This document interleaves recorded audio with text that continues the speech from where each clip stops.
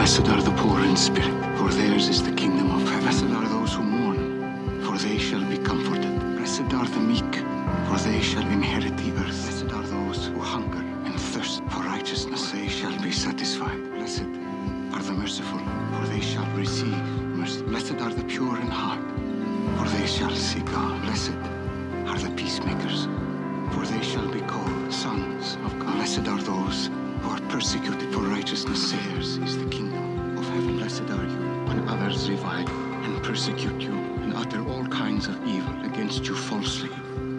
On my account, rejoice and be glad, for your reward will be great in heaven. Well, good morning. 11 o'clock. You always gotta you gotta have a little bit more energy. You've had plenty of time to sleep. So good morning. There you go. We're going to have some fun today. I want to say this. Uh, thank you guys for those who showed up yesterday and helped us clean here at the campus. Thank you guys so much. Uh, for those who weren't here, uh, you get to come to the next one. We'll do one around uh, Easter time as well. We get to do a lot of landscaping and really make our, our, outside of the building beautiful. But we got a lot of stuff done inside yesterday, and, and it was a, a fun day uh, hanging out and serving together. And I know a lot of the ladies were away at the, uh, at the Prevail conference and had a great time there as well. So hopefully it was a great weekend for you guys. And, um, and I'm excited to get into God's Word today. But also, one thing, I know it was in the video as well. How many of you have been part of our, our Convoy of Hope One Day to Feed the World offerings here before? Would you raise your hand? If you're not familiar with that, this is something we do every every year. We have a special guest speaker next week as well. Uh, this is one of my favorite days. It's a day where we get to uh, where we get to really support an organization that does a lot of great work. And so, hopefully, you receive. How many of you received that little handout when you came in today?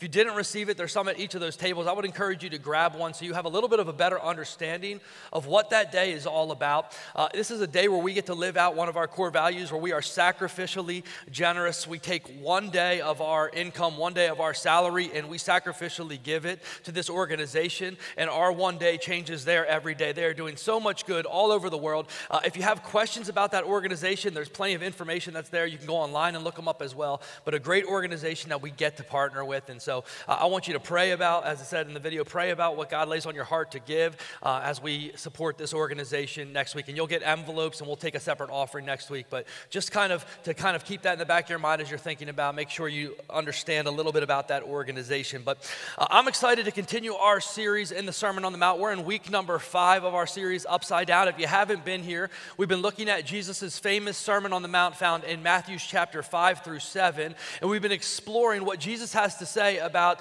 the kingdom of God. And the reason we've called it upside down is because we've said that this is a kingdom that is unlike any other kingdom, that in a lot of ways it's upside down from the kingdoms of this world. And Jesus talks about not only what his kingdom looks like, but what do our lives look like, or what should our lives look like as citizens as, of the kingdom of God, as followers of Christ, that, that our attitudes of our hearts, the way we live our lives, all of these things should look drastically different than somebody who is not a part of the kingdom of God. And so a couple weeks ago, we started this section of chapter 5 where Jesus looks at the law and he kind of uh, redefines the law and defines the true meaning of the different laws. And he, he gives six different phrases during this portion of the sermon where he says, You have heard, and he lists one of the rules you have heard, do not murder, whatever it is. Uh, I tell you, and he redefines and, or, or brings clarity to what it means. And so a couple weeks ago, we talked about this idea of murder and anger and, and how the command, do not murder, is not just about about not physically murdering somebody, but he also talks about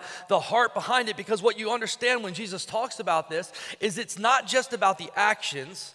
It's also about the heart and the motivations and the attitudes of our heart behind. And Jesus is not concerned with just what we do, He's also concerned with our hearts. And that's why we're calling this section Heart Issues. So we looked at anger and we said, hey, it's not just about not killing somebody, but it's also about the attitude of our hearts. And, and, so if we hold on to anger and we refuse to forgive and we hold things over people and we allow anger to be unforgiven and, and uncontrolled in our lives, it's the same way that, of breaking the law as if we physically murder somebody according to Jesus. This morning we're going to look at the second and third ones that Jesus talks about. He defines for us what it really means to live out his commands when it comes to marriage and divorce and, and lust and adultery and the heart of these issues. And what does it really look like to live as a citizen of the kingdom of heaven, pursuing this new type of righteousness as a follower of Christ in this area of our lives? I, I don't know if you know this, but the, the Bible has a lot to say when it comes to marriage and sex. Did you know that? The Bible has a, a, lot to say when it comes to these areas. And truthfully, most of us in this room today can relate to what we're talking about because you are either married. I know Mari kind of had you raise your hand. You're either married, uh, you, you have been married at some point in your life, or you are going to be married in your future. And so the information, the instructions that we're looking at today will apply to your life in one way, shape, or form. But, but I also want to be clear that this portion of Scripture is a little bit difficult as well. It's a little bit difficult. As often the words of Christ are, they bring conviction and they, they strike at areas in our life that are not as they should be. And so I, I want us to hear Jesus' words and the heart behind his words today for, for conviction, but not condemnation, not guilt, not shame. And so, with that in mind, let's listen to these words and we're going to explore. Matthew chapter 5, 27 through 32 says, You have heard that it was said, Do not commit adultery. But I tell you, Everyone who looks at a woman lustfully has already committed adultery with her in his heart. If your right eye causes you to sin, gouge it out and throw it away. For it is better that you lose one of the parts of your body than for your whole body to be thrown into hell. If your right hand causes you to sin, cut it off and throw it away, for it's better that you lose one of the parts of your body than for your whole body to go into hell. It was also said, Whoever divorces his wife must give her a written notice of divorce. But I tell you, everyone who divorces his wife, except in the case of sexual immorality, causes her to commit adultery, and whoever marries a divorced woman commits adultery. Now, I know that this portion of scripture, again, can be difficult for many of us because this idea of adultery and divorce, it hits close to home. It may be part of your your story, part of what you've experienced, whether you grew up in a household where your parents were divorced, or whether you were married at one time and you were divorced, or, or maybe you had a, a relationship where there was some adultery committed against you in your relationship, or, or maybe you were the one who committed adultery in your relationship, or maybe there's not the physical act of adultery, but you've been part of a relationship where there's been the emotional, the, the mental side of that, where there's been some pornography addictions and some, some mental affairs and things going on there. And so when we talk about this, it's, it's hard for us to talk about at times because the reality is for many of us, it hits pretty close to home. And so before we explore this further, uh, and before we really jump into what God's word says with, with this, I want to remind you of God's grace and his forgiveness. I want, you, I want you to understand God's grace and His forgiveness in our lives, whether this is a painful part of your story, a painful part of your past, or something that you're in the midst of right now. I, want you to understand that God's grace, His mercy, His forgiveness is there for you.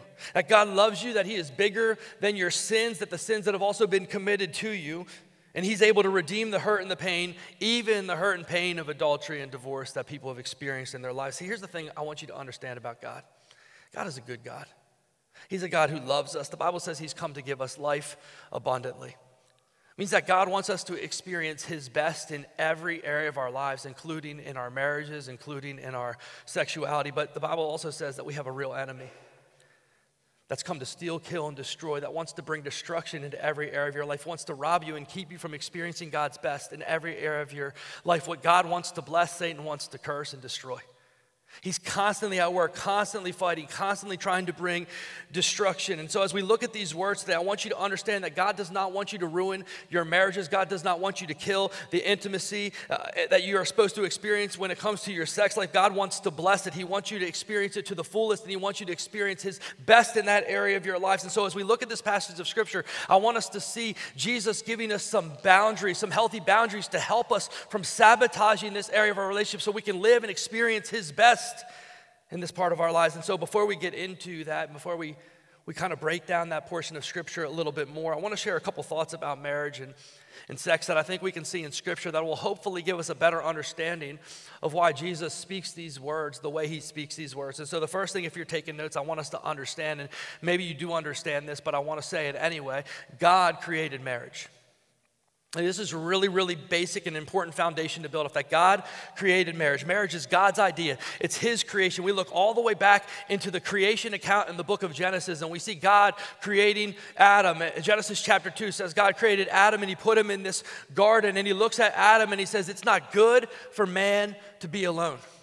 We are created to have relationships. We are created to crave, crave closeness. We are created with a desire to be known and to know each other deeply and intimately. We were created in the image of God, and that is His character in our lives, this desire to be known. And so God looks at Adam and he says it's not good for man to be alone. And so he starts to try to fix the problem. And he starts by creating a bunch of animals. And he says, Here are these animals, and here's your job, Adam. You can name these animals. You live at peace and harmony with these animals. And so I just imagine Adam, and he's looking at these animals, and he's coming up with creative names for them. He's like, You kind of look like a monkey, and you look like an elephant, and you look like a giraffe. I don't know what a giraffe is, but you look like a giraffe. You got a weird neck, and all these different things. He's just kind of going through the motion. He's naming all those animals, but at the end of the day, there's not this, this close relationship. Maybe he's sitting in the garden, he's playing catch with a lion or something because they're perfect peace, and he's trying to have a conversation with the monkeys, but there's just, you know, miscommunication there because it's a monkey and they don't talk. And it's just something's not right, something's missing. And God recognizes this and says, This is this is still not it. This is still not filling the void, this void of relationship that is there. So what the Bible says is that God causes Adam to go into a deep sleep. The type of sleep that you can do a surgery on somebody. He causes them to go into a deep sleep. He opens up his side, takes out one of his rib, and from the rib forms the very first woman. And he wakes Adam up from his deep sleep, and Adam looks for the first time on this woman that God has created, and he's like, That's what I'm talking about, God. That is, that's much better. In fact, this is what the Bible says in Genesis 2, verse 23. It says, At last, the man exclaimed, This one is bone from my bone, flesh from my flesh. She will be called woman because she was taken from me. This is exactly how I picture it happening because I'm a guy and I'm simple. So he woke up from his sleep and he saw her for the very first time, and they were both naked. And he looked at her and he was like, Whoa, man. He's like, I'm gonna call her woman because that's, that's what I said. Whoa, man, it's just simpler than saying that all the time. And that's how he got creative with her name because it's like, God, you did a good job. A plus on that one. Much better than the giraffe, like much better work there. The Bible says in verse 24, explains why a man leaves his father and mother and is joined to his wife, and the two are united into one. It says the man and his wife were both naked, but they felt no shame. This is a picture of God instituting the very first marriage, joining together the very first husband and wife. This is God defining what marriage is one man, one woman, created to be one flesh for life. Now, I know the culture we live in tries to define marriage in many different ways, but they didn't create marriage, so they don't get to define marriage. God defines marriage, and He defines it as one man and one woman, as one flesh for life. And not only did God create marriage, Jesus in the New Testament reaffirms God's plan for marriage. In Matthew chapter 19, he says, Haven't you read the scriptures? They record that from the beginning, God made them male and female, just in case we needed clarity. And he said, This explains why a man leaves his father and mother and is joined to his wife, and the two are united into one, since they are no longer two, but one. Let no one split apart what God has joined together. We have to understand, first and foremost, marriage is God's idea. It's His divine plan for us to experience and fill that relational void that all of us have been experiencing in our lives because He's created us for relationships. Number two, we have to also understand that sex is a gift from God in marriage. This idea we see in these verses about being one flesh is talking about the sexual relationship. He's saying that a man and woman should be united in marriage. They're no longer two, but they are one. And just as God created marriage, God also created sex. And it's been given to us to be a good gift that we get to experience between a husband and wife in the context of marriage. It's not like God left the garden. He, came, he left for like 15 minutes and he came back and he was like, what, what are you two doing? Like, I know you're naked and all, but like, how did you perverts figure that all? Like, he didn't, he didn't do that. God created them. He created them to experience intimacy. He created them to experience sex. He made their bodies, He made their bodies compatible with each other. He gave them the ability to enjoy that not just for procreation, but also for pleasure. God is not against, sex, God is for sex. He is pro sex. He wants you to enjoy it, but He wants you to enjoy it in the way that He's created you to enjoy it. See, if you want to understand how something works best or how something is made to be used, you go to the Creator. So you look at God's plan, God's creation, and you want to know how it's meant to be enjoyed, meant to be experienced, then you look at God. And God says, This is how you're created to experience. This is what I created, and this is how you can enjoy it to the fullest. Now, again, because of sin and because of our enemy, who is always trying to, I always say this like Satan Satan is always trying to distort. God creates, Satan always counterfeits. He always tries to distort. He always tries to, to, to make a false side of what God has created. And so here is God creating this, and here is Satan trying to destroy it and bring confusion. And we see that all throughout our culture that there's constantly these ideas of confusion and this misplaced ideas when it comes to human sexuality all over our world because we have a real enemy that wants to destroy everything that God's created and doesn't want us to experience what God has made to the fullest. And we see in our culture, especially, there's two often very wrong views, extremes of sex that we see that distort what God has created. The first one, we see that, that people often feel like sex is gross, whether it's because of, uh, of sexual abuse or perversion that they've experienced in their lives. And the truth is, even in a room like this, and first service as well, the statistics would say that there is many of you in this room, both male and female, that have experienced that in your life. You've experienced some kind of abuse, some kind of sexual perversion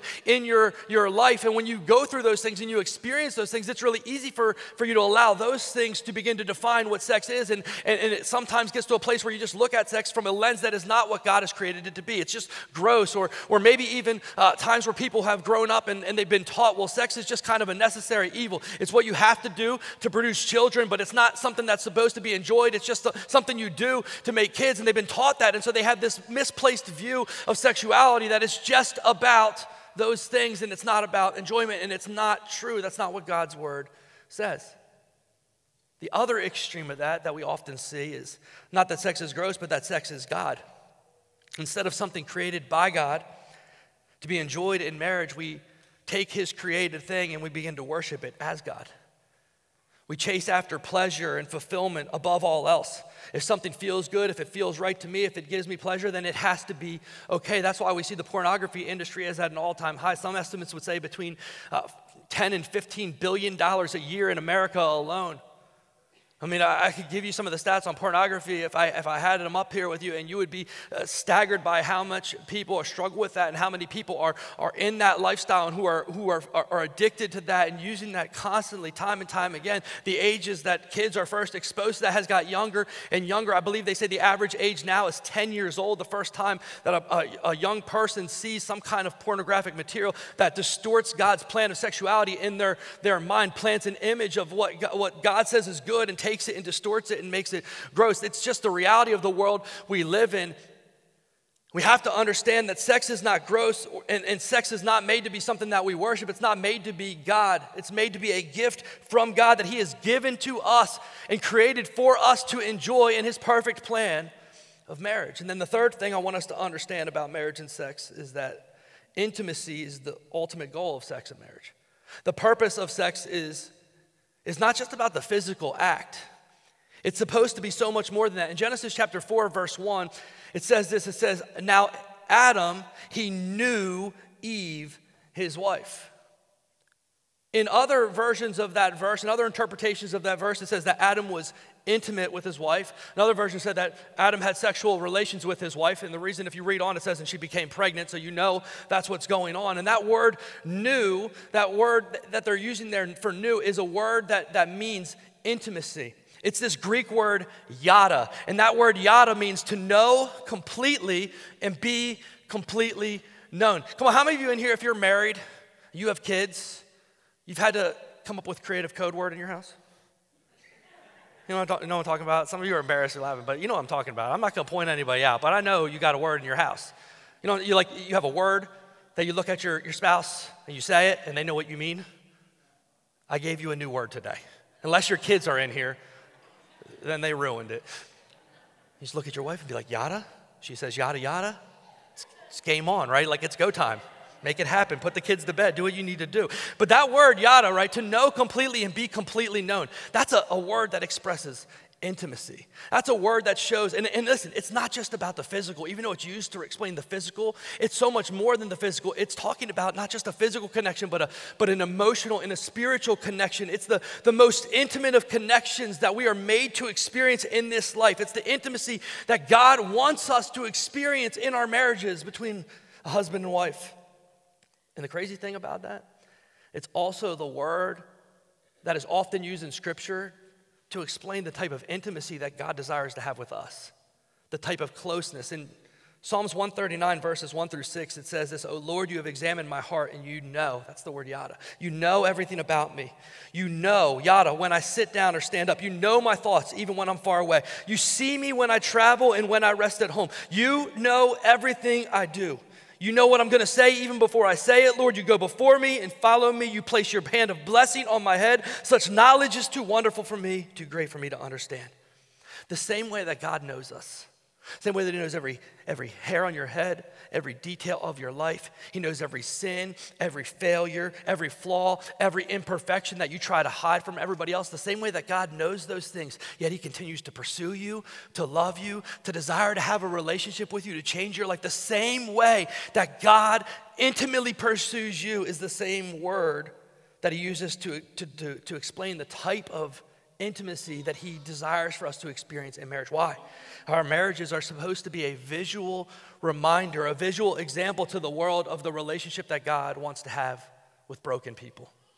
Our marriage is supposed to be pointing people to the truth of the gospel. As followers of Christ, that's why we should be taking marriage seriously. Because, listen, when we allow sin to enter into our marriages, when we allow unfaithfulness and what these verses are talking about to enter into that marriage covenant, it brings destruction. It brings an end to the covenant. It brings pain and suffering. It breaks off the intimacy that we're supposed to be living out and showing the world who Christ is through our marriages. And so that's why these words of Jesus are so strong when it comes to adultery and divorce, because marriage is meant to be that one relationship we experience on this earth between another person that most closely resembles the way that God loves his bride, the church.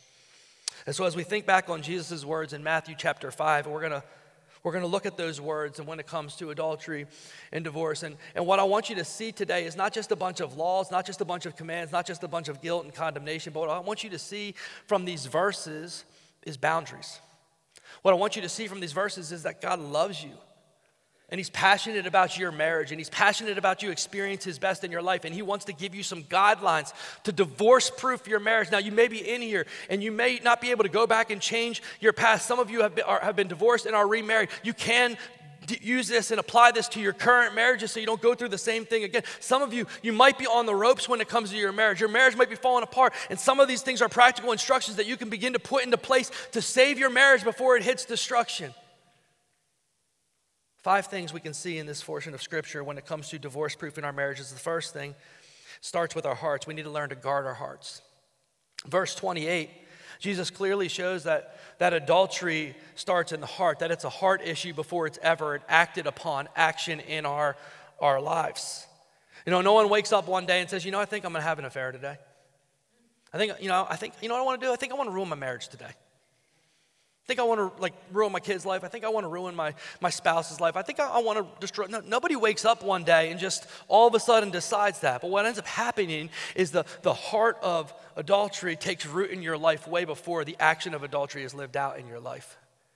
So we need to learn to protect our heart. We read this verse a couple weeks ago when talking about anger in Matthew 15, 19, but it also talks about adultery. It says, For from the heart come evil thoughts and murder, adultery, all sexual immorality, theft, lying, and slander. See, the Pharisees, they looked at this as just a checkbox, right? As long as you don't sleep with somebody who's not your spouse, you're okay. You haven't broken the command. Jesus looks at it and says, That's not true because this starts in your heart way before it's lived out in your actions. And so if you're walking in adultery in your heart and you're allowing this to take root in your heart way before it ever's lived out in your actions, you're just as guilty of breaking this command as if you actually lived out. Now, listen, that's not to say that if you've committed adultery in your heart, you might as well go ahead and actually commit adultery outside because can I tell you that those commands and those things have different consequences? Like there's different consequences that come from adultery in your heart versus adultery lived out. There's more destruction that is brought in your marriage, in your relationship when it's lived out. And that's a, that's a trick that the enemy would try to get you to play. Well, you've already lived this out in your heart. You might as well just act upon it because you've already failed in this area. That's not what he's saying.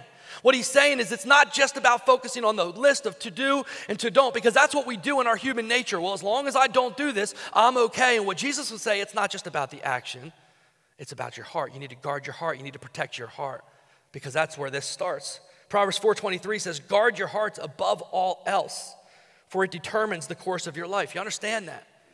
The direction of your life, the direction and the trajectory of your marriage starts in your heart. The actions that are going to happen in the future in your marriage are right now happening in your heart. So you need to guard your heart. You need to protect your heart. You need to put a boundary over your heart so you don't allow anything to take root there that's going to lead to sinful action in the future. So, how do we do this? It's both practical and intentional. It's really, really practical, but it's also really, really intentional. Psalms 119 says it like this It says, How can a young person stay pure? How can anybody walk in purity? by obeying your word. I have tried hard to find you. Don't let me wander from your commands. Verse 11 I have hidden your word in my heart that I might not sin against you. We have to understand adultery, first and foremost, is not just a sin against our spouse, it's a sin against God. He's the one that we're ultimately accountable to. So, guarding your heart starts first and foremost with surrendering your hearts to Christ. Something that happens when we become a new follower of Christ. The Bible says that He does this spiritual heart transplant. He takes out our old heart, our heart of our, our, heart of flesh, our heart of stone, our heart that is at odds with God, and He does a spiritual heart transplant, takes that out, and He puts a new heart into us. He gives us a new heart with new desires that's in line with the new creation that He says that we are.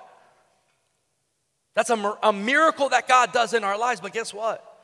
There's still work to be done in our lives to protect that heart, to guard that heart, to submit that heart to Him. And, and just like if you get a new heart through a heart transplant, but you continue to do all the things you did before, right? Eat unhealthy, eat a lot of salt, all this kind of stuff, you can cause damage to your new heart. And we do the same things in our lives. We have a new heart, we're a new creation, but we need to make sure that we are protecting our heart. We are submitting our heart to God's truth. We are submitting and building our hearts on the foundation of His Word every single day so that we can have the right foundation. Psalms 51:10 says, "Create in me a clean heart, O God, and renew a right spirit within me." This is David after he had made one of the greatest mistakes and sins and failings in his life.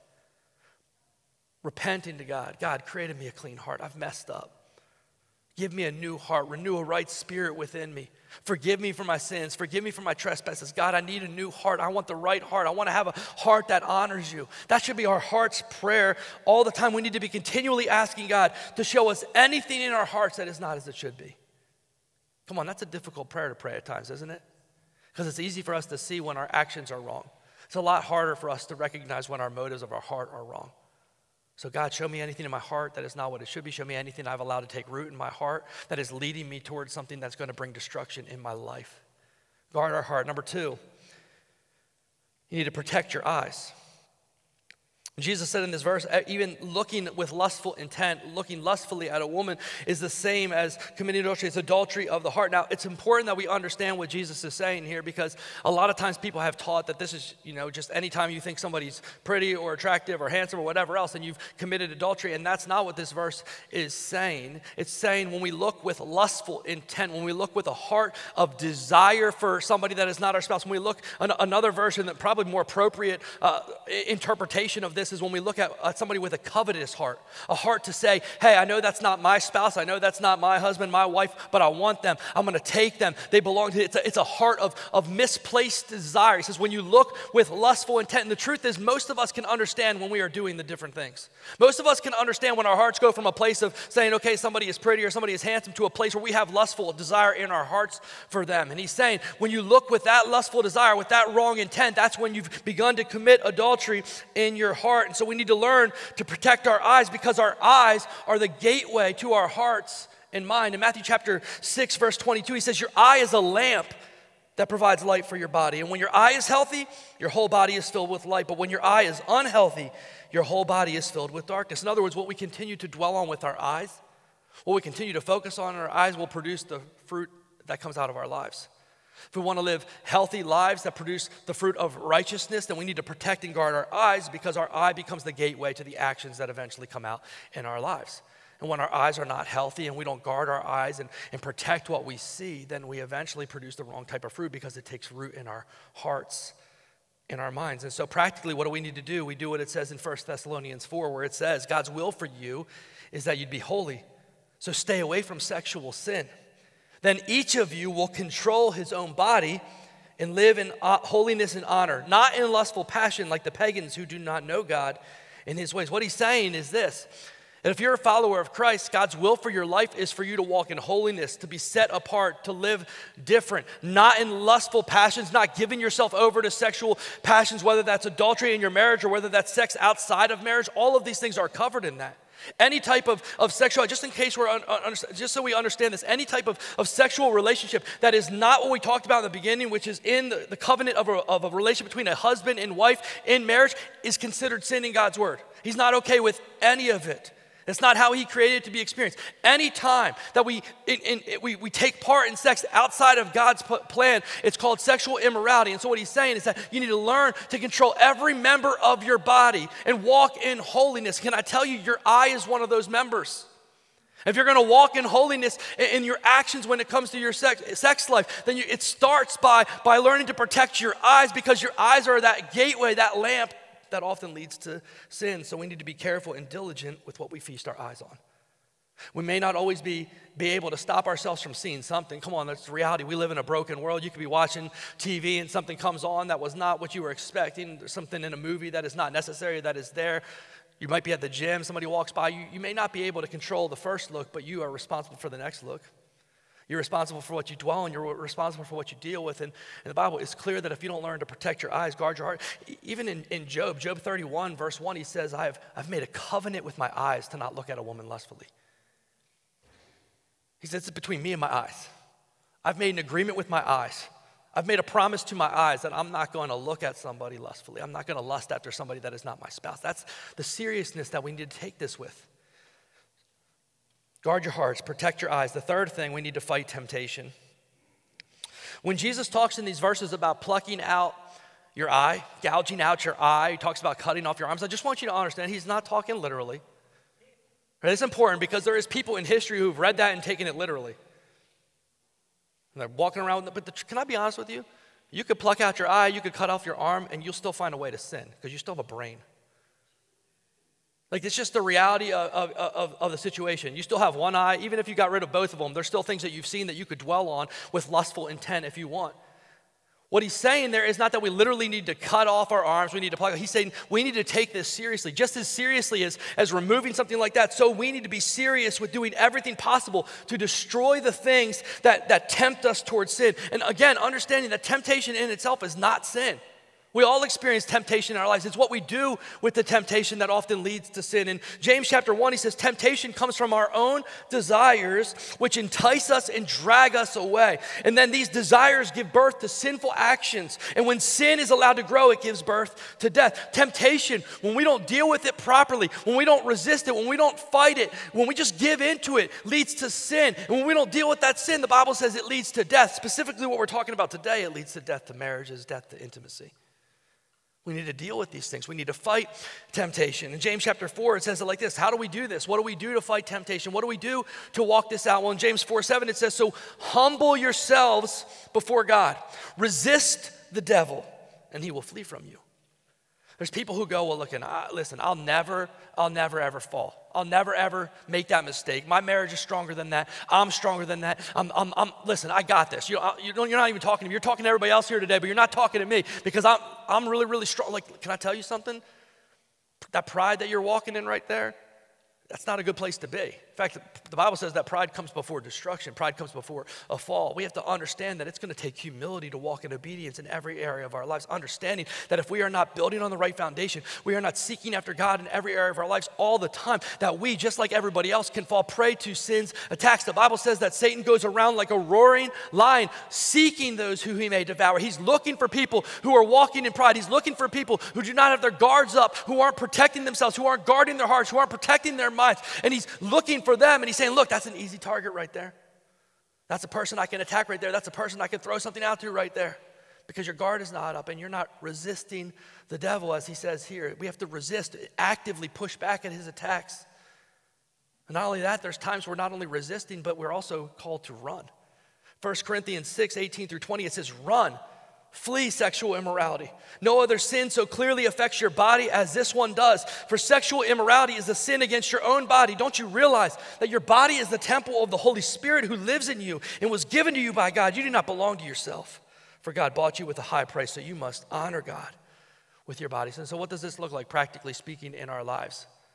When it comes to this cutting off, so to speak, gouging out our eyes, so to speak, what does this look like, really practical in our lives? Well, it might mean That if you have cable and you are struggling when it comes to lust and you don't have a lot of self control in your life, then maybe you need to, to get rid of that for a while. Because it's not worth going down the path that you're going down when it comes to what you're constantly looking at. Maybe it means putting some kind of accountability software on your phones, on your computers, making your spouse your accountability partner so that you don't go down paths that you shouldn't go. It's going to sometimes mean taking drastic steps. There might be some of you who are working at a job, and, and at that job, you're, you, you've got a little bit too comfortable with somebody that's not your spouse. You, you talk to them about all the problems that you're having in your relationship, and you don't think it's that big of a deal, but you're building an emotional connection that's not made to be there, but with, with anybody other than your spouse. And the best decision you can make, the most holy decision you could make, the most drastic step you could make to keep yourself from going down a path that you will not be able to come back from would be to quit that job, to leave that job. Say, I can't afford it, but you can't afford not to. Because you're going down a path that you're not going to recover from if you're not careful. It means we need to do everything we can to fight and to flee temptation. That's what he's saying. Take any drastic measure we need to take, put any boundary in place that you need to put, do whatever you need to do to not fall into the temptation that you're struggling with, that you're dealing with in your life. The fourth thing that we need to do, according to Scripture, is I would encourage you if you want to divorce proof your marriage, is you got to destroy those intimacy blockers. Destroy those things in your life that block intimacy. Now, I know what some of you are thinking. You can't do that because it's illegal to get rid of your kids. that's, that's not what we're talking about. Although they can be intimacy blockers sometimes, can't, is that right? How many of you have kids? They've ever knocked on a door and you wanted to, like, tell them they're not allowed to live in your house anymore? Part of it. That's not what we're talking about, though. There's a verse in the Song of Solomon, Song of Solomon, chapter 2, verse 15, that says this. It says, Catch all the foxes, these little foxes before they ruin the vineyard of love, for the grapevines are blossoming. You might be thinking, what's that have to do with this? Song of Solomon's is a, is a, is a story that's it's really a love story between a, a couple that gets married and their love is just in that new, that honeymoon stage of their marriage. And here's this couple, and they're, they're just really growing in their intimacy. They're growing in their trust. They're growing in their relationship, and they're talking about their marriage. And they said, Catch the foxes those little foxes before they ruin the vineyard. They're talking about this intimacy and they're talking about these, these foxes that have the potential to destroy their intimacy and to bring and wreak havoc in their relationship. I don't know if you know this about like foxes are kind of cute, right? Have you ever seen a fox running around? It's kind of a cute animal. It doesn't, it's not like a scary predator. You feel like you could have one as a pet, it'd be pretty awesome. I don't know. Like I've seen, they make cool sounds. I've seen videos of people who have them as like, like pets. I don't know why, but they have them as pets and they, they make really neat sounds and they're kind of cute and they're whatever. And I see them outside and, you know, they're, they're cute animals, but they're predators. And they're not really that scary. They're not like if you ran into a mountain lion. Like, I feel like if you saw a fox, if you saw a mountain lion, you're running away. If you saw a fox, you're like, in your mind, you're thinking, if this thing comes at me, I could pretty sure I could punt this. Like, I could punt this thing away and I could survive. That's like just the reality. But at the same time, they're still, they're still predators and they still can cause havoc. And what would happen at that time is sometimes foxes would get into the vineyard and they couldn't reach the fruit, so they couldn't eat the fruit of the vine. But what they would do is they would go to the base of the vine and they would chew on the base of the vine, they would chew on the roots, they would dig around the roots. And what would end up happening is if you didn't get rid of them, eventually they would cause destruction. They would cause the, the, vine, uh, the, the, the vine to die, which would then kill all the fruit. And so they were little things that caused big problems. And so what I think he's talking about there is, is understanding this. Like, it's easy for us sometimes to avoid the big things. It's easy for us to understand the big consequences of, of, of, actually having an affair, right? Like we know the consequence of, of walking that. We know the consequences of, of things in our lives that we don't repent from. We understand the destruction that they can bring. But it's a lot harder for us sometimes to, to recognize the little things that we allow in our, our marriage that ends up blocking the intimacy. And so let me give you a couple examples of what those look like. The first thing is sometimes it can be misplaced priorities and neglect. It's, it's really easy in times in marriage for things to get out of order. How many of you understand? You might have got married, great intentions, you love each other, all that, but then life happens. Sometimes careers happen, job changes happen, kids happen. Like these things take place in our lives, and it's easy at times for, for things in our marriages to get all kinds of out of order. And so I want you to understand that if you're a follower of Christ and you want to live a life that honors God in your, in your life, in every area of your life, the God given order of what you should be pursuing is this it should be God first and foremost in your lives and in your marriage, it should be your spouse, then your children, and then your career. Anytime that gets out of order, it's going to invite chaos and destruction into your intimacy. Anytime you pursue anything above God, it's going to bring separation and it's going to take away from the intimacy that God wants you to experience. Anytime that you elevate your kids above your spouse, it's going to bring a lack of intimacy in your life. And let me just be honest with you. I know you love your kids, but eventually your kids are going to leave your house, hopefully, right? And your spouse is still going to be there. And when that happens, you don't want to be like, Who are you, stranger? Because all you did was invest in your kids and not invest in your spouse. And you've let things get out of order. Anytime you put your career before those things, well, I got to work to provide for them. Yeah, but if you don't have a family to provide for and a marriage and a, and a spouse to go through life with, then is the job really worth it? Because you're providing for them to pay for the divorce you're going to go through because you haven't invested in that relationship. Anytime those get out of order, things get awry. So we have to understand that's a little fox that can destroy, and oftentimes it starts out small, but when you don't deal with it, it becomes bigger. Another one is constant criticism, complaining, and comparing. It's easy, isn't it, at times because there's a lot of comfort in marriage for that person to be the one person that we feel we can just I mean, like, this would be real. Like, that's the person that you know. You know their flaws, you know their mistakes. You're the one who's seen their failures more than anybody else. You see who they are when nobody else is around. Like, there's a lot of comfort there. And sometimes with that comfort and proximity, it's really, really, really easy to just let that person be a safe person for you to constantly criticize, constantly complain, constantly compare. And let me tell you, those things can really, really dangerous because they can start out small and innocent, but if you don't take care of them, you don't get rid of them, they can become big things in your, your marriage. If you're constantly criticizing and you're never speaking anything encouraging over each other, how many of you understand that that can bring destruction and kill intimacy? If you're constantly compa- complaining about them to, to, to them or even to other people, you're talking to your parents about how bad your husband is or how bad your wife is, that's not a good thing. That brings intimacy and puts intimacy driven drift and brings destruction. If you're constantly uh, complaining or comparing them to everybody else, I wish you were so much more like this person. I wish you were like this person I saw in the Hallmark movie. They're so romantic and you kind of stink at all that, right? Like if you're constantly comparing, criticizing, and complaining, it brings brings blockage to your intimacy that God wants you to experience. So you need to deal with it. Another one, unforgiveness and bitterness. And these two are really, really connected because bitterness grows out of unforgiveness. Can I tell you that marriage is going to give you a really, really good opportunity to learn how to walk in forgiveness? How many of you know what I'm talking about? Like, there's a lot of opportunities to practice forgiveness in marriage. You're so close to that person. They're going to offend you, they're going to tick you off. I heard somebody say like this marriage is that one relationship where you know how to push each other's buttons and, th- and then you push them for fun sometimes. Is that true? Like, you know the things that annoy your spouse, and sometimes you just do it on purpose. You know how to push those buttons. Can I tell you that marriage is a perfect opportunity for you to live out the command to forgive as you've been forgiven? The best marriages are the marriages where both people are committed to forgiving each other, not holding on to anger, not holding on to bitterness, not allowing those things to take root in their lives. And so forgive each other and don't allow bitterness in your marriage. And number four, hidden sin. A little fox that can bring big destruction in your life. Is there anything in your marriage that you're keeping from your spouse? Are there any hidden passwords that you purposely hide? Are there any relationships that are not right in your life that you've allowed to take root? Are there anything in your, you know, that if your, your spouse saw, that they would not be okay with? I mean, just think about that for a moment in your life.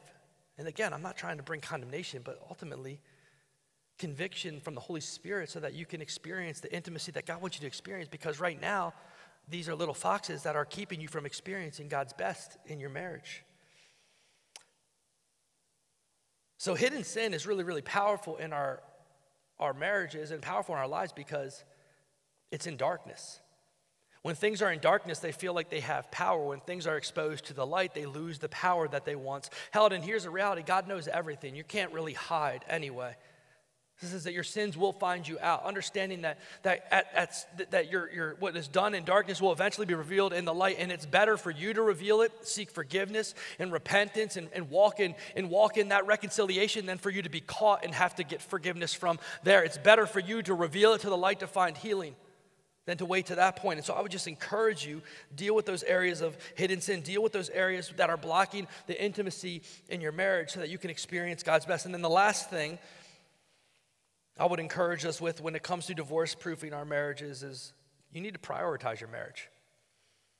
I heard people say before, well, you know, the grass is always greener somewhere else. How many of you ever heard that, that phrase? Well, the grass is greener somebody else. The grass is greener over there. I mean, in, in, I guess the grass would be greener if I had a different spouse. I guess the grass would be greener if I was married somebody else. I didn't marry the right person. We come up with all kinds of excuses. Can I tell you where the grass is greenest? I grew up uh, in Bartow, and we had this big mound in our back hill.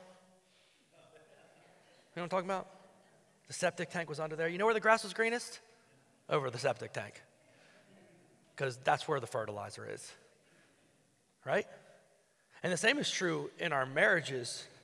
Like if you want to have a great marriage, you're going to have to you're going to have to fertilize it. You're going to have to work at it. You're going to have to prioritize it. You're going to have to fight for it. I would encourage you put the same amount of effort and time that you've put into looking for a way out of your marriage into making your marriage as best as it could possibly be. So let's get practical with it as we close today. Real practical steps that we can take to prioritize our marriage. Number one, I would encourage you to pursue God together. Pursue God together. Build your lives individually and together as a, as a married couple on the foundation of Christ. Read and, read and, and pray and, and read the Bible together. Do devotions together. Do whatever you need to do. Serve together. Like just make serving Christ a priority in your marriage and in your family. Another thing, don't hold on to anger, but be quick to forgive. How many of you have ever gone to bed angry and you wake up in the morning and the, the anger is magically gone? No, you, get, you wake up and you're just as angry. You just had a bad night's sleep instead. Or maybe your spouse is sleeping and you're looking at them and you, you're thinking of ways to murder them in your sleep. You're breaking both last week's and this week's command. Because somehow they're sleeping while you're still mad. Right?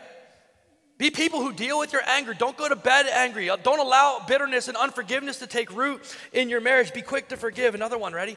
Prioritize your date life. Some of you are like, I don't remember, I don't know what a date is. I don't remember what that is like. I got too many, you know how many kids I have? I got too many kids. I'd have to take another mortgage out to pay for childcare. Can I tell you what's more expensive than going on a date? Divorce lawyer. That's more expensive than going on a date. And here's the thing I'll tell you, and I said in the first service as well a date night does not have to be expensive, it just needs to be without the kids to make it a date night. Like you just need to get away from the kids, look each other in the eyes. Listen, I'm just going to put this plug out there. Our parking lot is big. You can just come park here and make out in the car if you want. Get back to that, whatever you want to do. There's no cameras out there uh, that I know of. Um, so enjoy time. Listen, I'm telling you, just get away from your kids. Look each other in the eyes. Remind yourselves of why you love each other. And take time together to reignite those flames that you had in the beginning of your marriage. Another really practical one I'm just going to say it. Have lots of sex in your marriage. You can say amen to that. Listen, even if you're with, you can say amen to that. That's true. Listen, I'll, it's in the Bible. I'll give you scripture. I didn't have it in the notes, but you can write this one down and read it later. Uh, 1 Corinthians 7 talks about this. It says, if you're married, do not withhold from each other. Husbands, your body is your wife's, it belongs to her. Wives, your body is your husband's, it belongs to him, it's not your own. So, husbands, this is what you can do. You can look at your wife and you can just point at yourself and be like, this is all yours. I've been, I've been growing to enlarge. There's just more to love than when we first got married. You have a scripture for that now. It says, do not withhold from each other unless you both agree for a season of, of prayer and fasting that means you can't just be like, no, I want to pray and fast instead of being with you. It means if you both agree for a season of prayer and fasting, but then the Bible says, but then come back together so that you don't give an opportunity to the enemy to come into your relationship and bring separation and kill the intimacy. Listen, God is not against you enjoying what He has created for you to enjoy. He just wants you to enjoy it the way He's created you to enjoy it. And listen, you know I have no filter, so I'll say whatever God puts on my heart to say, and I have no shame. My wife's not here, so I can't even embarrass her in this service. Enjoy what God has given you in the context of what He has given you.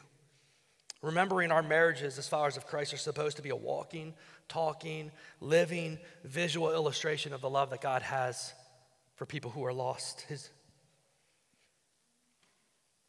So I want to encourage you pursue marriage that honors God.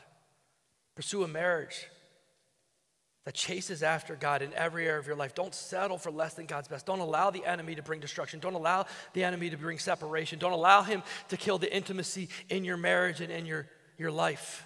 Fight for your marriage. Would you stand with me as we close today? We're going to do something a little different as we close.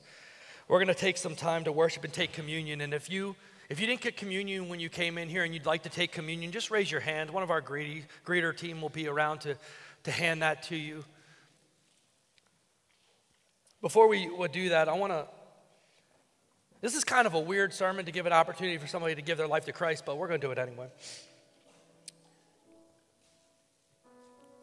Because ultimately, when we take communion, we take this from a heart of already having a relationship with God. If we don't know Jesus, this really doesn't mean much. It's just going through the motions, a religious act. But when we know Christ, this, this matters because it's a time to reflect on what God has done for us, bringing us into his family, making us a new creation in Christ, not because of what we've done, but because of what he has done for us. We've talked about this throughout every single one of these, and we've looked back at this verse as we've looked at these things. We've looked back at, at Matthew chapter 5, verse 20, where he says, Unless your righteousness exceeds that of the Pharisees. Because the reality is, most of us in here maybe could say, Well, we've never, we've never actually committed adultery. But when we look at what the Bible says is adultery of the heart, most of us have broken that command in one way, shape, or form. And again, the point of that is not to bring condemnation. The point of that is to bring us back to what we learned in the very first week that God blesses those who are poor in spirit. It's to bring us back to that place where we realize that there is nothing we could do in and of ourselves, in and of our religious actions to get ourselves to God. That's why Jesus came to us and did for us what we could never do. He became sin for us, took the punishment of sin for us so that we could be right with God. If you're in here today and you don't know Christ, we're going to take communion in a moment. But don't take communion with not surrendering your life to Christ. Doesn't matter how religious you are. It doesn't matter. Look, I, it doesn't even matter. You might have been here. You might be here today. You might have been married and divorced multiple times, had multiple affairs. There's a story in the Bible, the woman at the well. Read that one, and look how Jesus loves you. That your sin and your past and your failures do not define you. What defines you is what Jesus did for you on the cross. And you're going to stand before God someday, and you're going to either stand before Him trying to, to get into heaven based on your own merits and what you've done, or you're going to stand there knowing that you don't deserve it, knowing that you failed, but that Jesus did it for you in your place. So, if you don't know Christ today, as we close in prayer, I want to just encourage you to surrender your heart to Christ, to receive that new heart, that new, become that new creation that He promises you to become. For the rest of us today, as we close in communion, we're not going to do this the same way that we usually do. I'm not going to come back up here and lead us through communion. Instead, what I want us to do today is if you're here with your spouse, I want you guys to take communion together. I want you to take a moment to pray together. I want you to take a moment to deal with the brokenness and the sin and the things that you've allowed into your relationship that have broken intimacy. I want you to deal with those things before you take communion together. I want you to remember that Jesus died on the cross not just for your own sins, but also for the sins that you've committed against each other in your marriage. So seek forgiveness and reconciliation. Now, if you didn't come with your spouse or you're not married, maybe you came with your family, you can do communion with your family. Maybe you came with a friend, you could do communion with a friend. Maybe you came by yourself and you just want to take a couple moments to reflect. I would just encourage you as we close in worship, take a few moments to reflect on what communion is all about, to reflect on the fact that Jesus' blood was shed, his body was broken for you, for your healing, so you could be made healed and whole, that your past does not define you, your mistakes and your failures do not define you. You're defined defined by Jesus and what he accomplished for you on the cross. And so just take a few moments to think about that sacrifice, to remember what he's done for you, and celebrate communion together. So, Father, today we thank you, God. Lord, I pray for anybody who is in here today who doesn't yet know you, God, I pray right now that they would surrender their lives and their hearts to you. God, I pray for any marriages today that are broken, that you would bring reconciliation. God, I pray for anybody who's carrying around a heart of guilt and condemnation and shame because of things that have happened in their past. I pray that they would receive your forgiveness, that they would understand that their sins of their past do not define them, that they would go forward as a new creation, living for you and doing and following you in every area of their lives, including their marriage now. God, I pray that you would do a work in our lives. God, let us take this time to remember your sacrifice, remember who you are. We give you all the praise, all the glory, and all the honor. God, I thank you that your desire is that we would experience great intimacy, great marriages, a great sex life, God, that you've created us to experience, but it would be in the context, in the way that you've created us to experience. And we give you all the praise, the glory, and the honor. In Jesus' name we pray. Amen.